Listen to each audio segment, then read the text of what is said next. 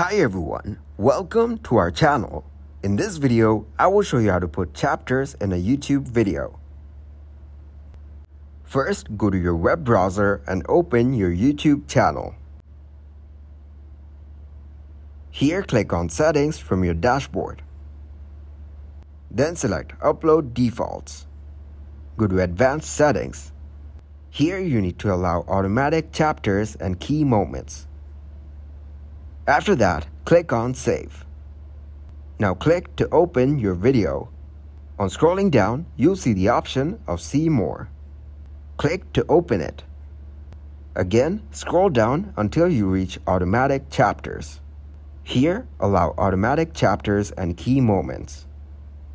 After that, go to your video's description box. You'll need to follow these steps to add chapters in your video. In the description box, you'll need to add a list of timestamps and titles.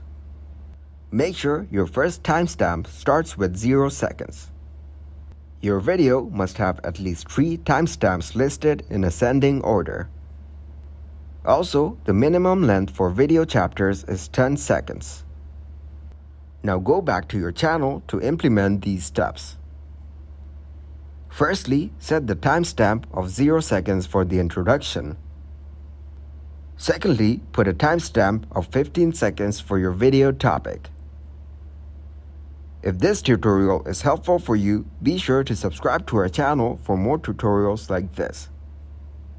Lastly, set the timestamps 2 minutes 10 seconds for the ending. Also, don't forget to type chapters in the description box. Click on Next to save it. Chapters will be added to your video. Thanks for watching this video. I hope it was useful. Make sure to drop a like and subscribe to get notified for new videos. We're dropping new videos to help all of you.